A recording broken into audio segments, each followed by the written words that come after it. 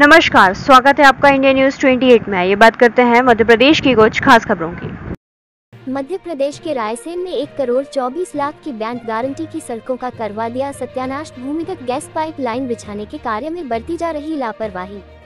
शहर की सड़कों को जगह जगह खोदकर किया बेकार।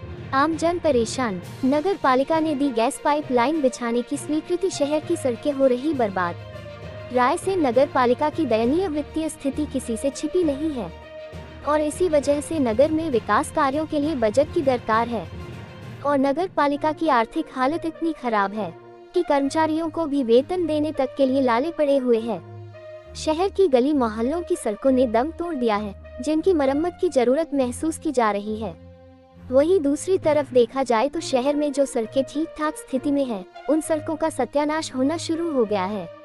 नगर पालिका द्वारा एक करोड़ चौबीस लाख पिचासी हज़ार पाँच सौ पचास रूपए की बैंक गारंटी में गेल गैस लिमिटेड मंडीदीप को भूमिगत गैस लाइन बिछाने की स्वीकृति दे दी है, जिसकी वजह से गेल गैस लिमिटेड द्वारा नगर की सड़कों का सत्यानाश करना शुरू कर दिया है। रायसेन के पटेल नगर, मुखर्जी नगर अशोक नगर सहित आदि इलाकों में भूमिगत गैस पाइप लाइन बिछाने का काम किया जा रहा है। मुखर्जी नगर पानी की टंकी के पास सीसी सड़क को बेतरकीब तरीके से खोद दिया है। पी के साहू उपयंत्री नगर पालिका रायसेन ने कहा रायसेन से संवाददाता राकेश जैन की रिपोर्ट।